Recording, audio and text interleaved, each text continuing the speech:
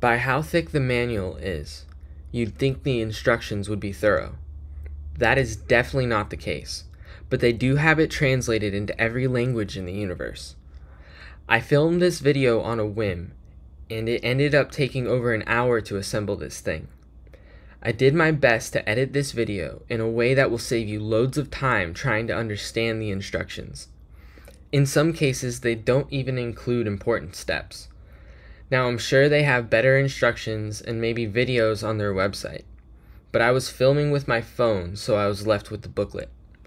I will be releasing a future video testing the laser on a bunch of different woods and metals.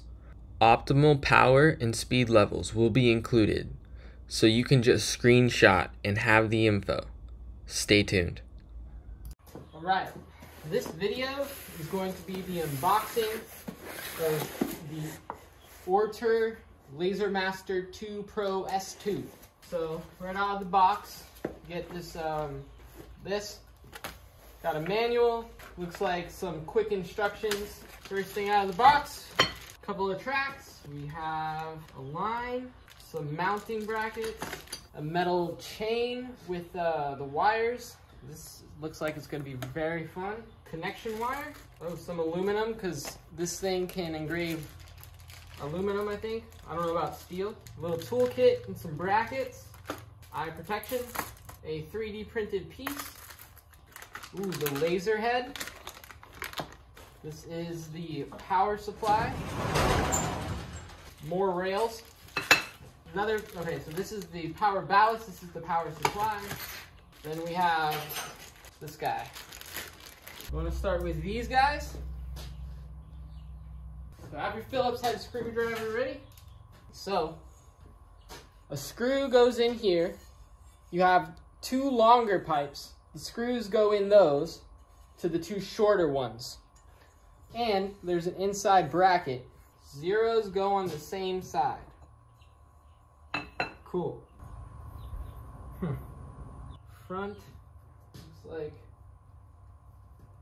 has this guy on the back here. Alright, so you get a little bag of these things, and those go in here.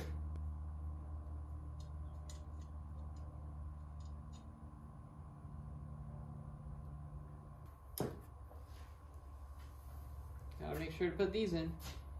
Oh, side and front and back. So another thing you want to do before you tighten her up, you want to put these in for your legs.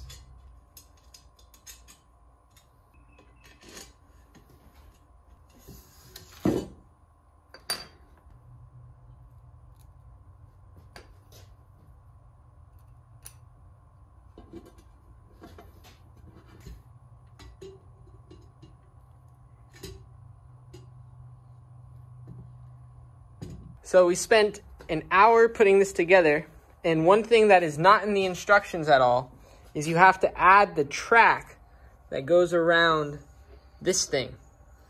It goes through two little slits in the feet, um, on three of the feet, but in the main board here, it doesn't have a slit for it, so we just kind of wedged it between this and the front plate. See how it goes. We'll see how it goes. You put two of these little guys, looks like in the top here.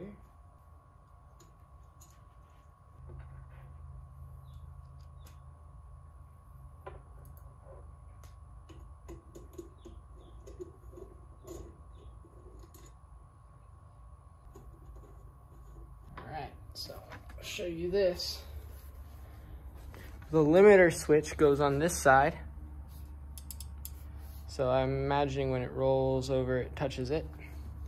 You wanna put your, see these things? You wanna put those in before you tighten everything up. Two go in the top here, below here. Kind of see them. Now we'll take our main board assembly.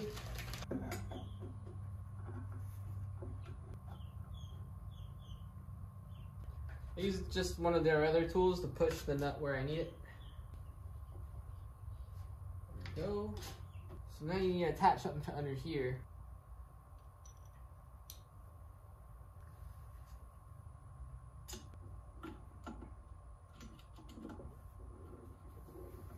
So that was attaching this wire loom holder to that corner. This one goes right here. Two M6 screws, so smaller ones.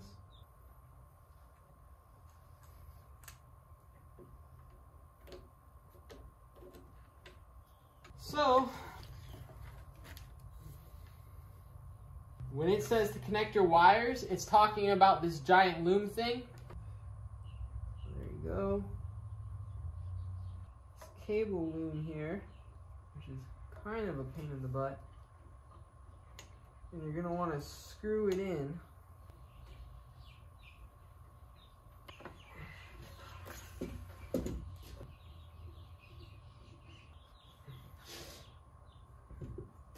Now we get our laser module.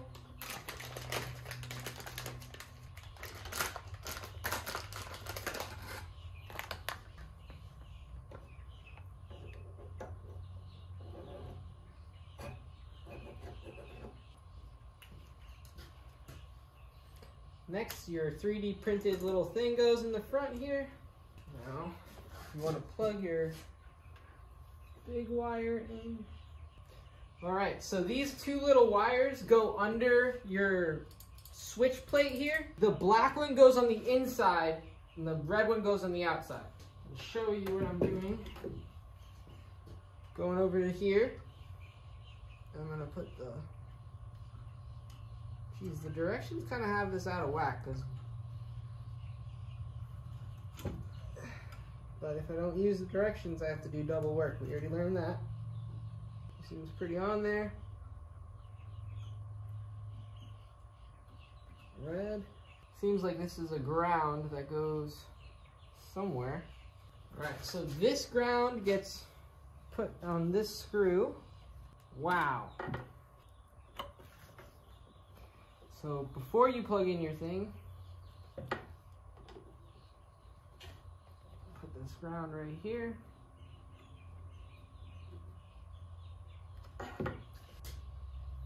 So on this one, black goes on the outside here, and then red on the inside.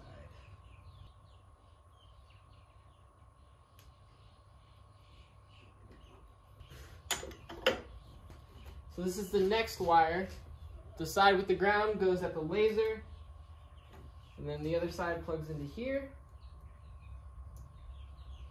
Cool.